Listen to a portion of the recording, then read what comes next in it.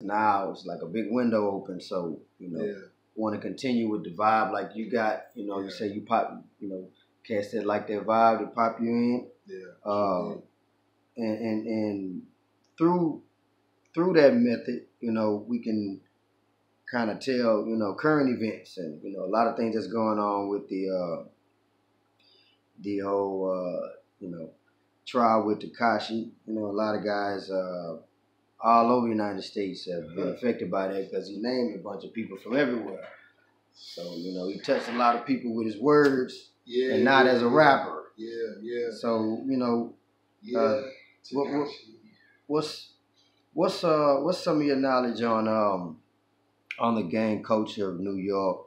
Uh, maybe even going back uh, before or um, you know whatever you were uh, you were alive for. Uh, you ain't got to tell your age or nothing, but to know you know what was going on before you know it was really seeing West Coast sets being represented in uh, New York. You know, like in what time frame did you see that transitioning from whatever New York, you know, was Mhm. at that time, and then now the gang culture, yeah, uh, or more of the. Uh, I mean, it's always been, you know, gang and mob and crime, just like any other big city. But New York, of course, yeah, yeah. being one of the the, the country's first big, well, basically the country's first big fucking city, yeah, yeah, yeah. New York. The first time I remember the first time I seen Bloods in New York, I think um it was early two thousand. Mm. I was um you know, I'm with one of my cousins, you know what I mean, and we out in Far Rockaway, Queens, and it was these dudes walking across the street, you know, like we we got a, we got a red light, he driving, I'm in the passenger seat. Somebody uh uh we talking or whatever, and then you know as he's talking, I'm looking, and I just see like about maybe six, seven, eight dudes, Yeah, you know, just walking across the street, and they all got red on. So yeah. I'm like, you know, I'm like, oh, Christmas, you know, like, what, you Yeah, know, what's yeah, going yeah. on, you know? Were they like, um, you know, youngsters? You know, yeah, they were kind of, teenagers. yeah, yeah, they were kind of young too. So that's why I'm just thinking, you know, it's- you know yeah, what I'm saying? yeah, yeah, yeah. But uh, Cuzzo was like, nah, yo, them niggas is blood. And I was like, blood? what? you know, I'm tripping because, you know what I'm saying? I'm like, you know, I, we don't have Crips and Bloods in New York. That's, Yeah. And like I said, this was like 2001. This was either 2000 or 2001. yeah, Because like I said, I had already left New York and went down south. So this like in the 90s, I'm in the south, but I'm always, you know, back and forth or whatever. Yeah. But I'm up there and I'm in Queens, and I, that's the first time I seen Yeah. Bloods and heard that there was Bloods in New York.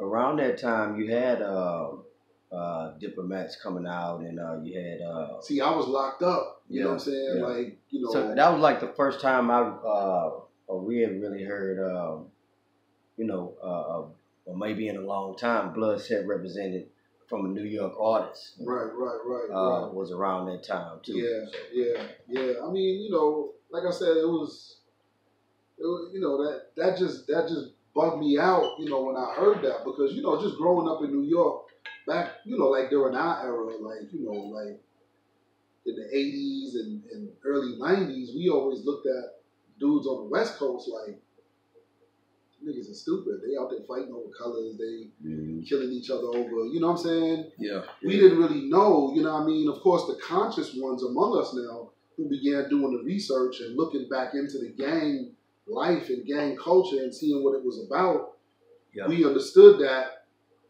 the, the Crips and Bloods on the West Coast, their predecessors was the Panther Yeah. movement.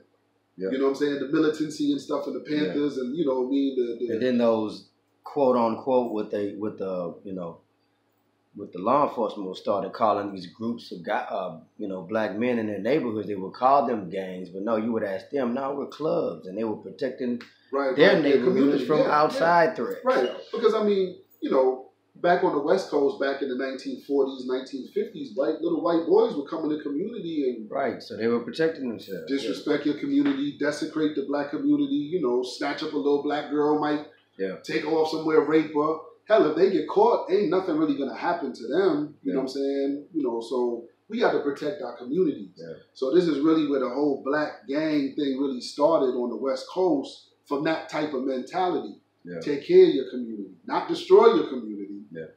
So after learning about that, we respected that. On the East Coast, probably the first encounter New York dudes had with blood was really when Pop came out. Mhm. You know what I'm saying? Like around in the 94, 95. Death Row. Right, with Death Row. Because around that time, like, again, in New York, there is no Crips and Bloods. Yeah. You know what I'm saying? See, if we go back a few uh, decade or so, you know, the father, uh, Brother Clarence 13X, he eradicated all of that and had every gang member in New York come under one banner, the seven. You know what I'm saying? They you five percent, five percenters. You know what I mean? But as time went on, you know, brothers just eventually fell victim Yeah. to society, which in this case is prison. Yeah. Because like how the Crips and Bloods on the East Coast were starting on the streets in the community, on the East Coast or in New York, it started in the prison, in the jails, Prison gang. Yeah. by fake guards running around here masquerading as five percenters, Mm. stick up kids, basically. One thing about New York, especially Brooklyn niggas, you know, we known for robberies Yeah. Yeah. stick ups. You know, I did my first stick up when I was like what sixteen. Hmm. You know what I'm saying? You know, they we start them early. you know, back in those in that day in that era.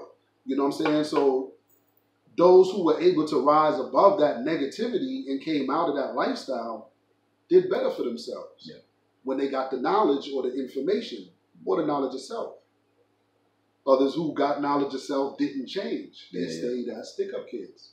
That was just their mentality. Yeah. When you go to jail, the recidivism rate for five percenters in New York, and whether it be Rikers Island or it be up in the state prisons or Yeah. whatever, Attica, Sing Sing, Elmira, Oneida, all of them, Yeah. it was more, you know what I'm saying?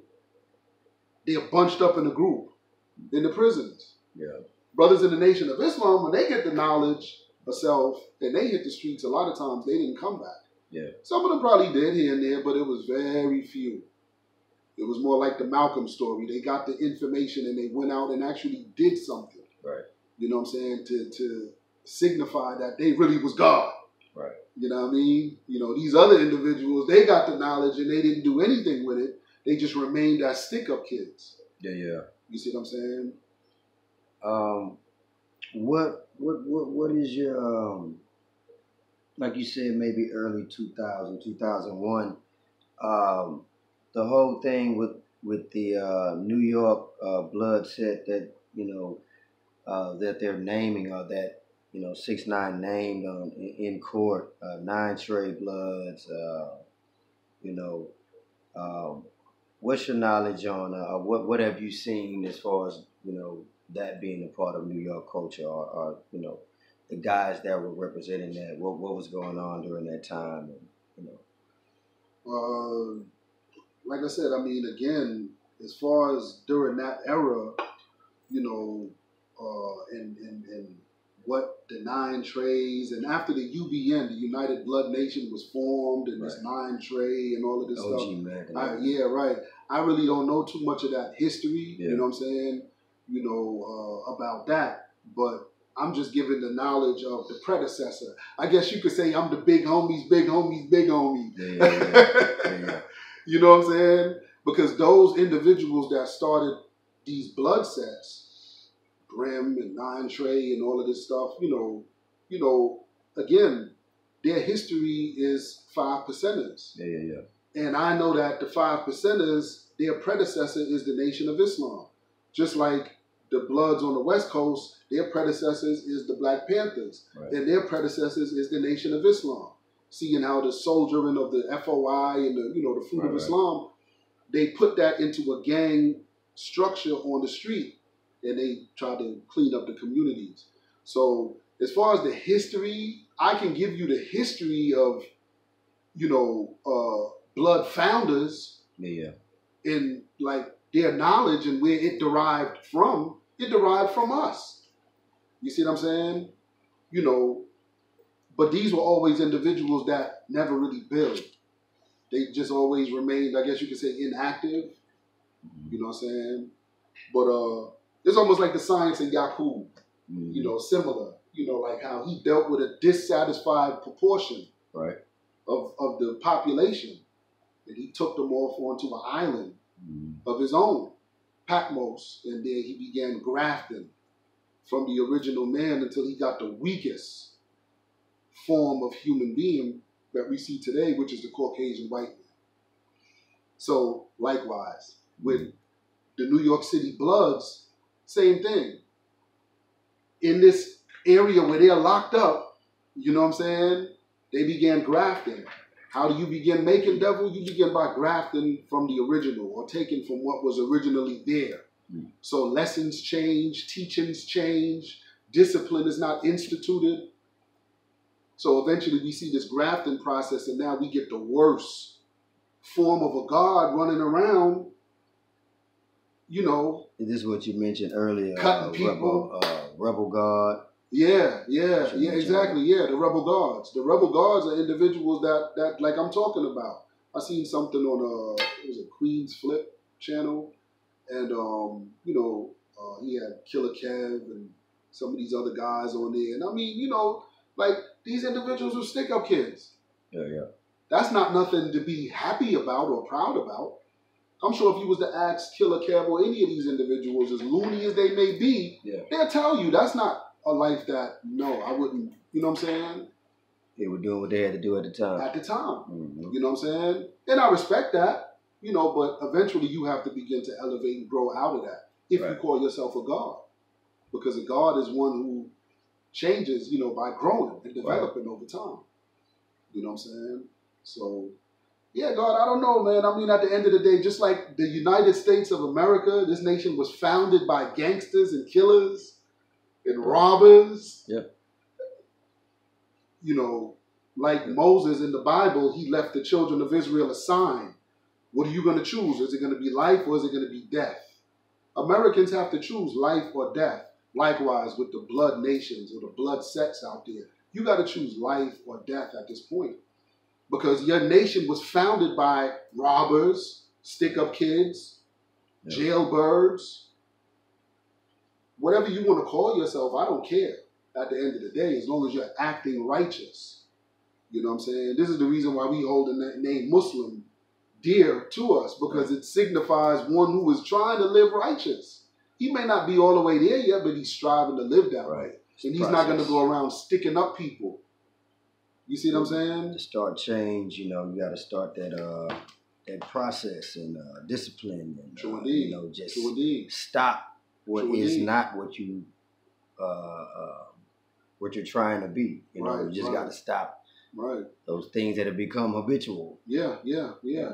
And like on the island, real quick, and when brothers was locked up, uh, I know you're gonna close out in a few minutes or whatever, but uh, I was just gonna say, the brothers out was on the island, uh, and I was watching on Queen's Flip. That was the thought that I was gonna bring. I was watching these one, uh, this one Spanish dude. I think he's from the Ñetas or the Latin Kings, one of the two Yeah. but he was just saying that he point he pointed out something that was important. He said there was two groups of five percenters. Mm. There was one group that they didn't try to stick us up or get our commentary or you know, they wasn't trying they would actually try to build with us and tell us that we were a part of their family, their nation, the original Yeah, yeah. nation and, and you know, the brown man or what but then he said there was another group of five percenters that you had to sleep with an eye on them, you know what I'm saying? Because they might try to get you, Yeah, yeah, you know, bang you out, you know what I'm saying, poke at- you out or whatever, you know, At know. the end of the day, it's um, you know, an organization is a, a group of individuals.